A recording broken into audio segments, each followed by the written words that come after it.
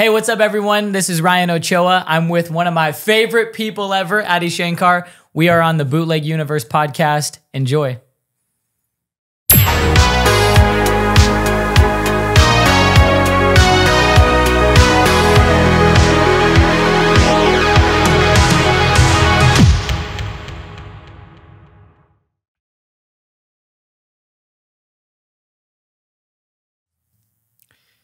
So we met in November of 2012.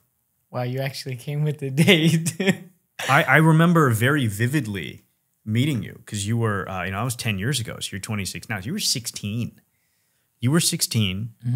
Uh, and you had more charisma as a 16 year old than most full grown, pretty much anyone else at this event. And we were at like, this wasn't just like a normal uh, event. This was like a charity event. Uh, Kellen, Kellen Lutz, was it, was it, did Kellen throw, he threw the event, but was it his charity? It- no, Saving Innocence is not. It was not his charity, but his his best friend slash manager Ryan Daly, Yes. who you are friends with as Yes. well. And he used He- to manage you. Yes, he used Yeah, to. yeah. But we're still cool. We actually we we still talk. Yeah. Mm. You know, well, he was actually my agent first, and then I went with him as a manager. Um, but uh, he his, hi Ryan's best friend was the, it, it's her organization, and so uh, Kellen was like the spokesperson the year that we met. So he was the one Yeah. that did all the promos. and it was all you know it was all all, all actors in the room i i, I in, in a way i felt uh as someone who wasn't an actor or at least i wasn't an actor then uh I think I was the youngest one there, for Yeah. sure. uh i felt a little like whoa uh this is cool and you you you I mean, you literally stood out in that crowd to me Well, in thank that you. moment i was like this this guy is gonna make it i don't know what it is but he's gonna do something because this dude has like way too much attitude way too much confidence and it's just way too charismatic for things to not manifest I hope that's a good thing. But uh, I mean, everywhere I go, no matter where it is, and it, it's a, it's a, you, kind of said it earlier, like a personality or a, it's it's something that I I actually take a lot of pride in as well. But no matter where, wherever I am, whether I'm at the grocery store, at you know a theme park, at an event, on set, doesn't matter. I always want to be the same person. I always want to be present, and uh, ultimately, you know, just actually have like a an uh, a positive energy that people want to be around. You know what I mean? Because but you're not acting that's the interesting thing because at, at my, my initial reaction like i think 10 seconds into you opening your mouth right because you were you were kind of like the closest comp would be shia labeouf's character in constantine I don't, I don't know if you you've seen Constantine or if you get the reference. You're just kind of like this fast talking like 16 year old who That was like, like me. navigating with adults, and you were like, yo, you know, you know, it, it was it, it was it was very interesting. You weren't acting. This is this is like actually who you are. yeah, And the other thing that I've I've noticed uh, among child stars, that's that, that that's how I looked at you. Oh, I mean, it- you were a child star. yeah, I, I fall into that category. You are a child star. I mean, yeah, you you were on Disney and Nickelodeon, and then you acted in like movies with other child stars. You were True. you were in the child star True. circuit. Yeah. Right. I guess the cliche, or maybe the the I guess the publicized narrative is is like people leave that ecosystem fucked up. And and there's like a bitterness there. There's a there's a there's a there's an anger. Yeah. Uh, or there's like a a darkness at, the very least. Absolutely, yeah. Having having known you I mean, again, granted, we don't hang out every day, but having known you through like now a 10 year period, Yeah. I kept waiting for that to happen. You were just, when is Ryan gonna F When, up? when is Ryan going to flip out? when are you, and you never flipped out. You just got more positive, right? Yeah. And what was baffling to me is and I, I actually, real quick, I actually sometimes I feel like that bothers people. Yeah. Yes. How so? Um, and not necessarily like maybe like a specific person. I just feel like, you know, I'm very, very active on social media.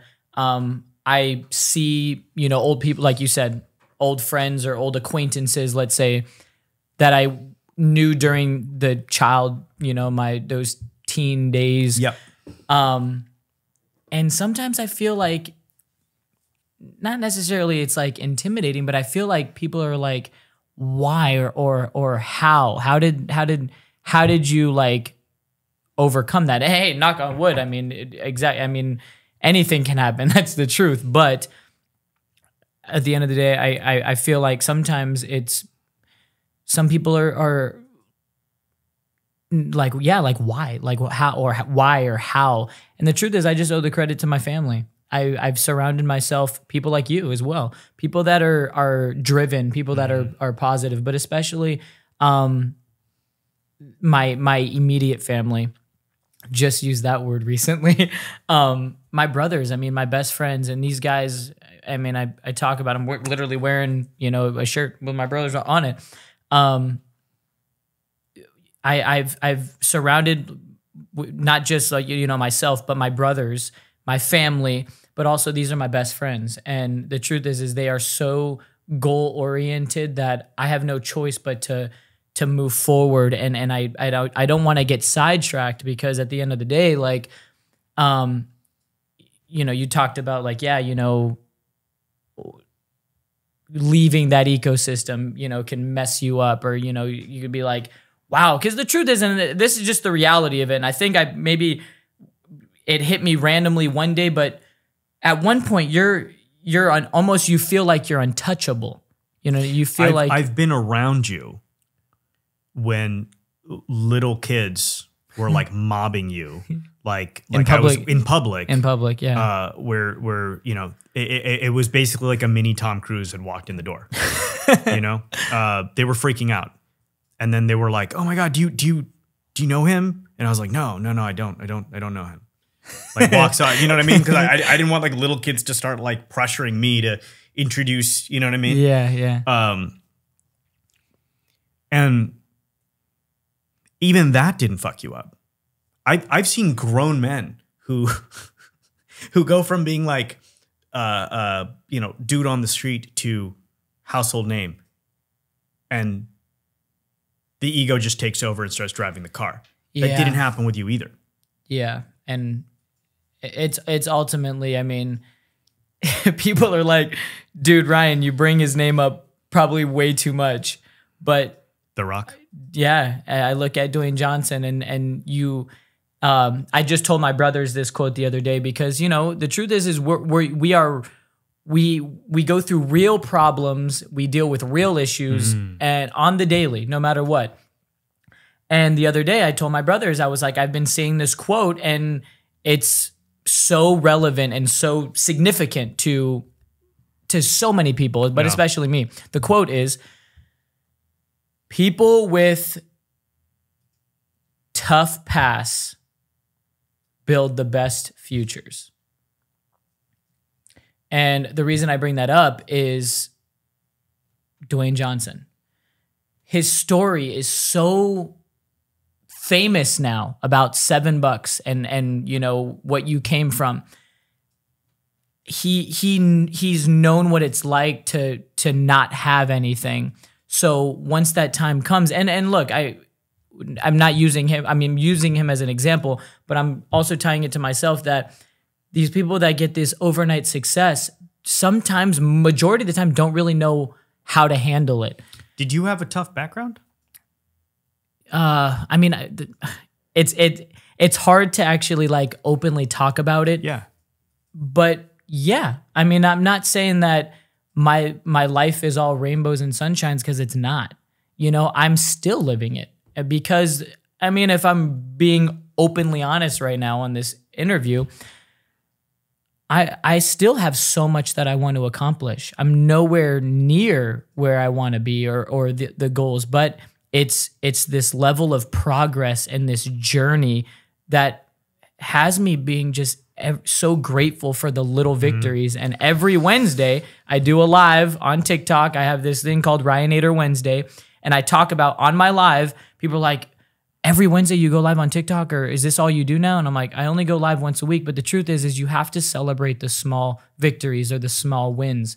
And that's what I'm doing. I every week I just celebrate, hey, even if it's one little thing, I'm celebrating little victories along the way because then when the big victories come and the and the big success and hey, you, whatever that may look like that you said whatever the it is um cuz I don't even know.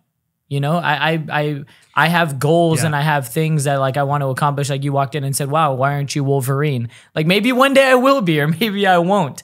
But when that day comes or if that day ever comes, I know I'll be ready, but I know I'll also appreciate it because I've appreciated the journey. I you know This what I is mean? so fascinating to me. Um, I hope that's not weird. no, no, it's not weird. It's not weird Sometimes I all. always feel like I'm weird in a in it's a not- way. It's not, it's not weird. Um, it's not weird at all.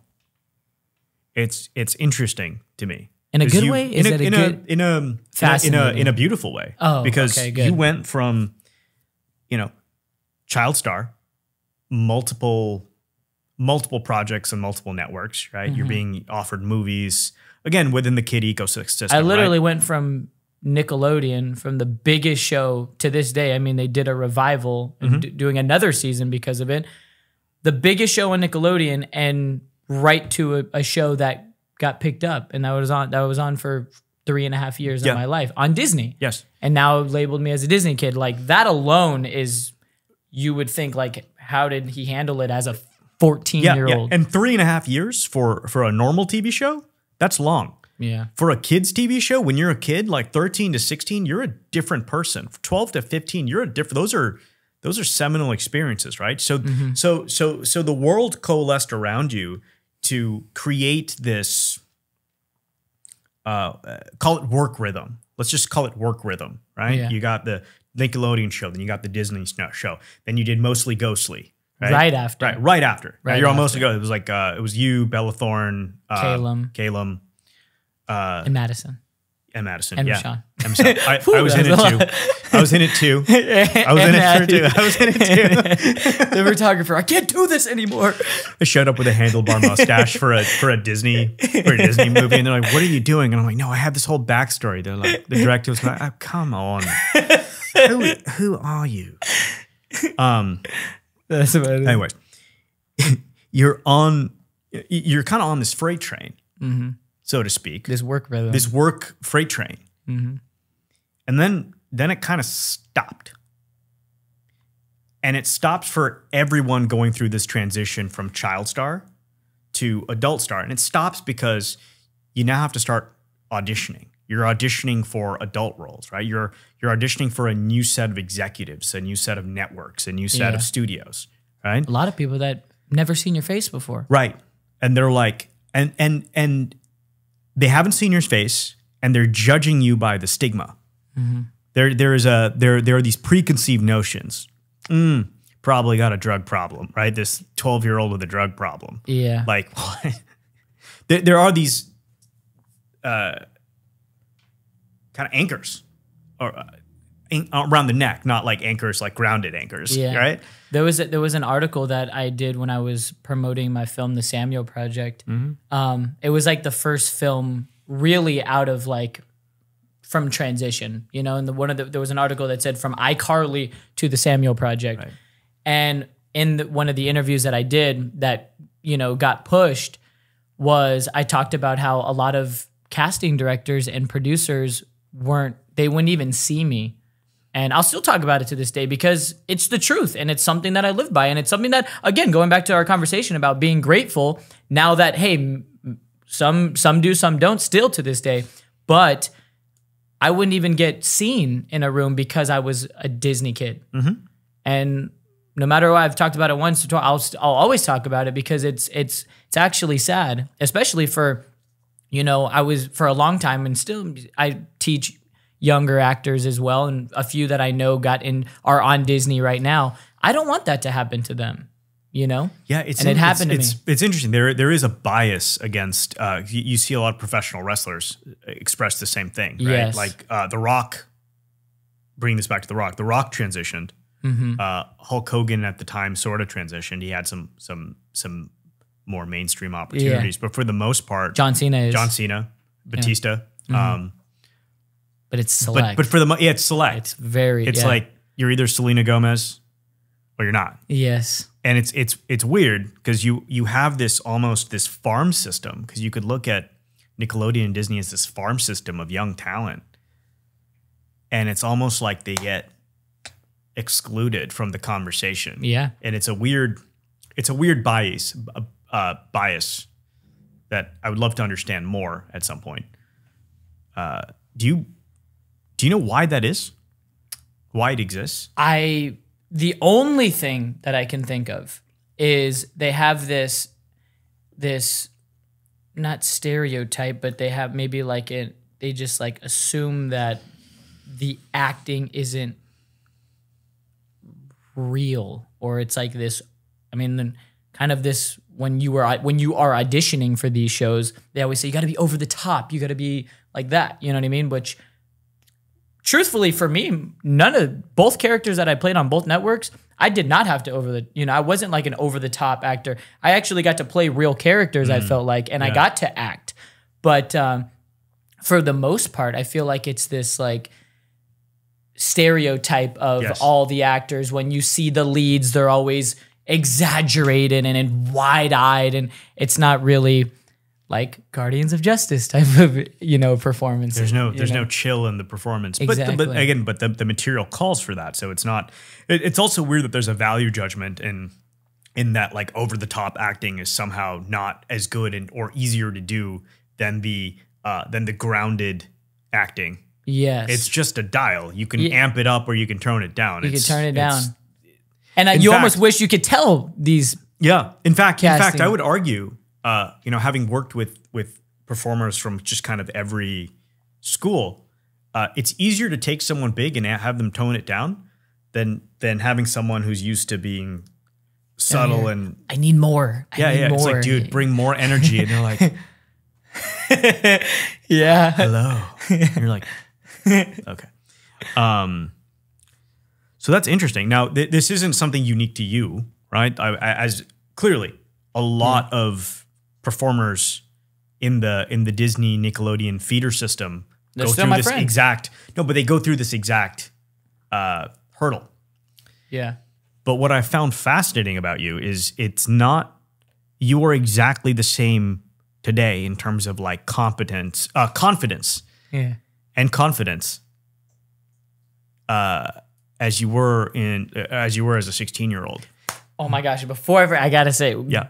going off of what you're saying, I remember I was had a thought earlier that I was gonna talk about the you saying like that I'm the exact same mindset wise today. Yes, mindset wise. I wish, and I think this is n- n- maybe not why I am who I am.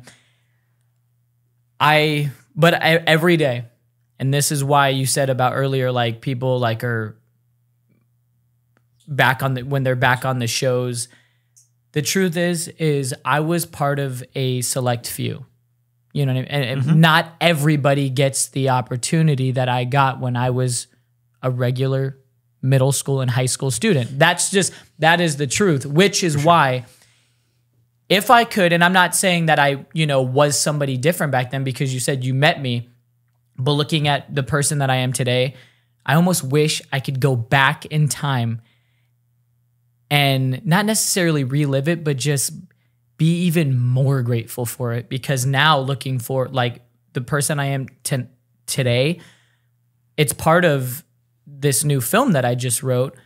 I talk about, and a big reason why I wrote the movie was because the character, which I won't give too much away about it, but the character was written because Ryan, who I am, I am so grateful for the time, the opportunities, the people, and everything that I met during my teen child star days, which is why if I was like, I just like always say, I always wish I could go back and just like thank one more person, talk to one more person and just say, thank you for bringing me here. But that's when I like, I feel like I'm not necessarily making up for it now. I'm just adding on to it, Sure, you know? sure. Because so many people are like, and you see the articles, I don't never call out anybody, but I almost feel like, wow, you were given such a huge opportunity back then. The people that are super famous, like you, no matter what, were put in that position. I know there's one random person in some random city or country that wishes that they had that, you mm-hmm. know? Oh yeah. And that's why I'm More like, than one. you know what? Exactly. Yeah. That's why I am who I am. And that's why, I, you know, I'll say, you know what? I will look at every Disney and Nickelodeon executive and say, thank you. I embrace that, Right. you know, time. You guys gave me a, you know, an amazing, you know, childhood. And I will I will always be grateful and thankful for that time. I will never talk bad about it because the truth is I had so much fun. That's and maybe that's why I enjoyed every minute of it. I was on a show. I, I was on two great shows. That's the truth. Both shows, both casts. I literally just talked to Mitchell Musso an hour ago. We talked. We we haven't seen each other in two years, but it was like no time has ever you know had passed. I embraced the friendships, the relationships. I again, I could do a two hour interview just talking about how thankful I am for those. So when you say the the the articles, are you, are you talking about the, the the Dan this Dan Schneider person? Is that what you're? The what? There's a there's a guy Dan Schneider who's like kind He- of recently come under. Yeah, he I don't know very much about this. he was the creator of iCarly. He was the one that hired me. Right. True. My my callback was with Dan Schneider. He Hmm. was the one that basically gave me my break into into my role as Nickelodeon. So no, we won't be talking about Dan Schneider. But yes, there is what I've seen, and I don't know too too much, but I'm not oblivious to the Right. situation. But when I am on live, people always say about, oh, what did what things with Dan Schneider? But truth is, I will I won't necessarily say I'm gonna, you know, um, push it away, but I'll say, Dan hired me, gave me an opportunity. That was it for me. No, It also sounds like no just- bad yeah, experiences on my end with Right. him. And I've talked to other people that had said the same thing. Um, but again, I don't speak for everybody. Right. So, and I don't have the Right. facts. And it also sounds like um, the other the other kind of head of the of the of the online uh, thing that like the negativity maybe also uh, it seems like and I and again I don't know that many you know you're you're like it's it's really just you right I don't I don't, I don't have like a From that- Rolodex from that of, world. of, of like child stars that I like hang out with I'm not that guy like it's literally just you I think that's Um, kind of weird.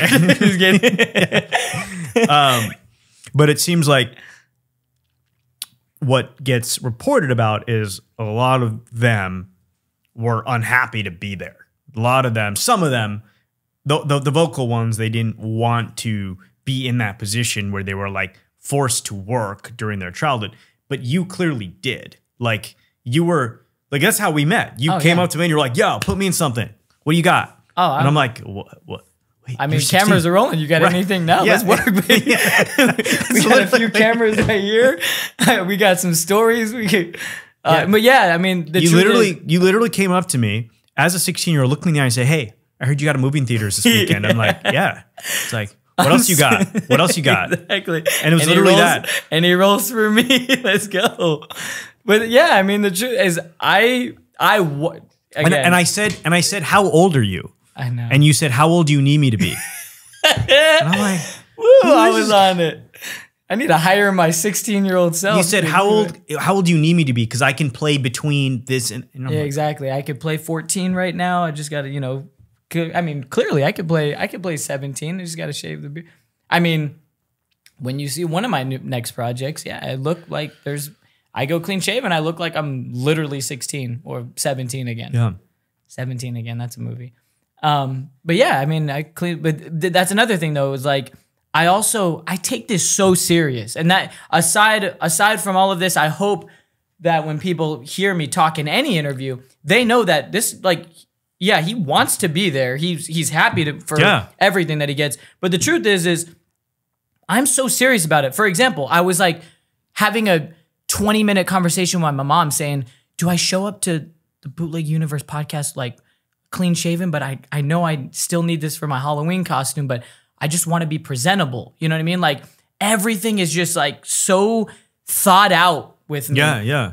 For example, having a beard. I'm like, hey, look, I want to have a beard for this role, but maybe a beard and short hair for the next. Or mom, what do you, you know, dad, or you know, talking to my age, like everything is just so like I I I just I feel like maybe I care a little too much about that, but when it goes again, it goes back to the very first thing you talked about. Everywhere I am, there's I I know that there's always a reason and there's sure. always some something positive to take from it, not and, negative. and there may be some naysayers that would look at what you said as, oh, he's he's always acting, he's always on, he's always performing. But the way I see it and the way I've experienced you is you are a yeah, sure you're a performer, but but you have complete control over your instrument, right? Yeah. So you you take res- radical responsibility for how you show up in And- in, and- in the room. and when I make mistakes Yeah. too. You know, I mean, I'll I'll own up to them, and I feel like that's a, it's a part of growth. Um, and you know, not to like like be sad or anything, but the past like year or two, you know, I've I've also found you know and learned a lot about myself of just like, hey, like Ryan, you, yeah, like hey, this wasn't right, or you need to own up to the, and it just it's just a part of being a real person and, and being a better person. For sure. and especially with my little sister too and my brothers but my i mean my youngest brother now just turned 21 so it's like but still i want to be a good role model for them but especially for my little sister. Like i want her to she doesn't have any sisters so she only has what her old, four older brothers show her you know? So i feel like and especially with her now i mean she's the lead in this movie like her life can change dramatically. And it's a matter of how is she going to handle it? How is she going to be the person that you know is a a good role model for young you know women her age? You know what i mean? Mm-hmm. Like things like that like that maybe not too many people think about. Yeah. but it has to do with that family and Well, I feel like a lot of people think about that. They're not proactively taking steps to I love that word. kind of I love that word. Shout out to my friend jim. manifest it in a way or have it unfold in a way that is in their highest excitement and everyone Mm. else's highest excitement around them. Yeah, or or you hear it and people just they they I mean it and then last night I was like looking at and responding to Instagram comments of people saying like you know we we definitely need this you know positivity and you know you're always so positive we love looking at your posts and I just feel like it's a matter of some people see it but it's a matter of can you know do you actually go and do it Yeah, yeah, yeah. you know Yeah.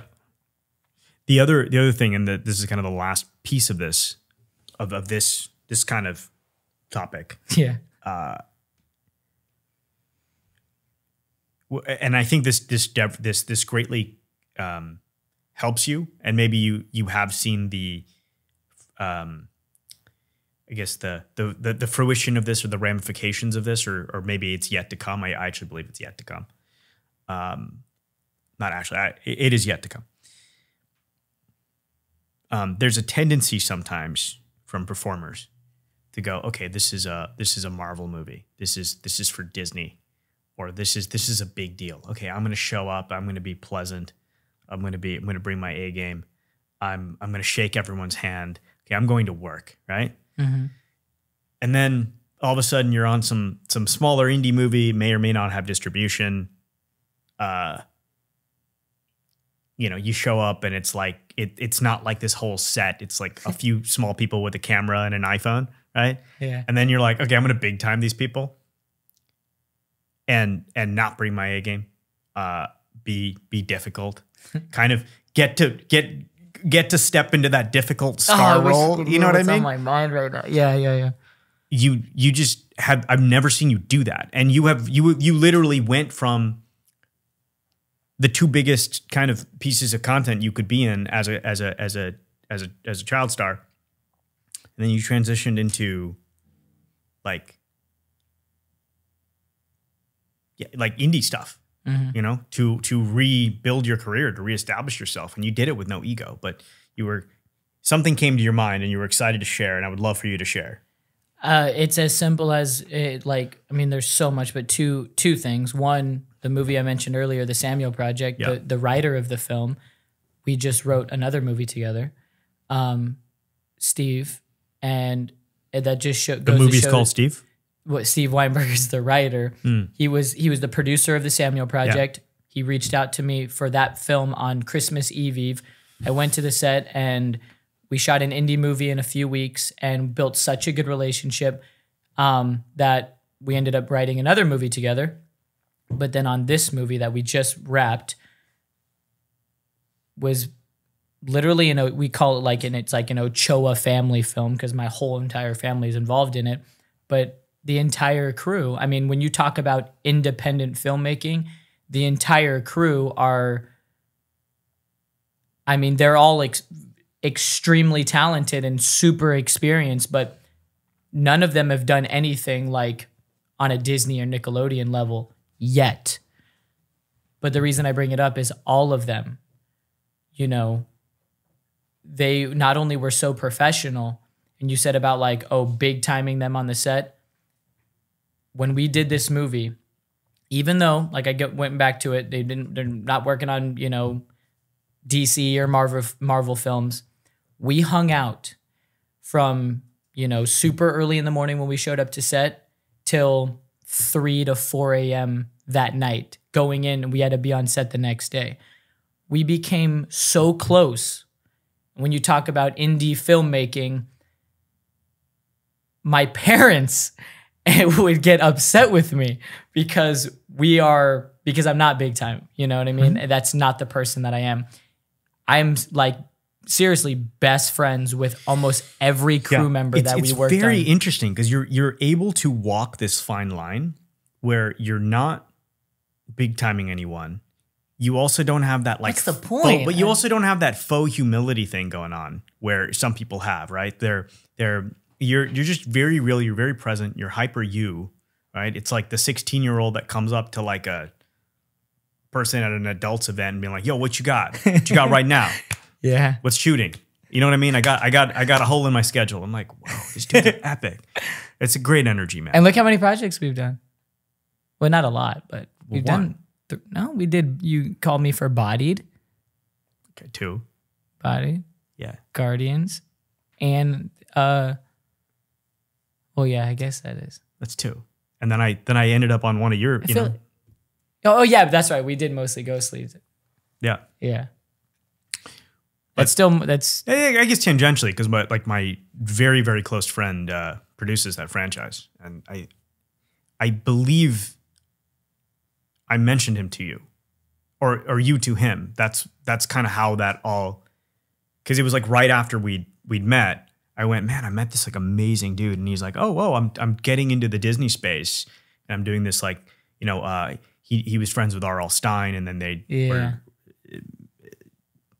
and then yeah, Gosh, that's and then so again, I wasn't the reason you were cast. You were the reason you were cast, but I kind of, but I guess that that goes to show how like kind of being a cool person and being kind of outgoing and and social kind of creates creates opportunity in a in Yeah. a in a non-linear way because you probably didn't even know that because it's not like I ever called you and said, "Oh, by the way, I mentioned you to my buddy Steve Stabler and Y- yeah. and he has this movie for you." He just reached out because he said, "Okay, I need I need Disney kids because he'd worked with um the, there are these twins, the Sprouse twins. Yeah. He'd worked with them and it went very very well. And he's Mm-hmm. like, "Okay, so who else is there from the roster?" And I said, "Well, there's this guy Ryan Ochoa and he's dope."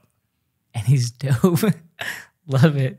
And So- and at the end, it, go, it also just goes back to just even ev- like, and, I, and I'm not just saying this. It's like proof. Like everything that I've like done lately, just working with people that you want to be around. You know, Yeah. And that's I've just found myself and I've just I get to work with and on the past like two three years everything that I've done it's whether it's one person or the entire production like this last one was everybody that I just wanted to Yep. work with or you know they you know called me or you know what I mean and it's like go. and that's and that's I guess the train that will lead you to the promised land. That that about you know someone hits it, then they're like, "Heh," and then next thing you know, you're in Suicide Squad Six, the Return of the Squad, right?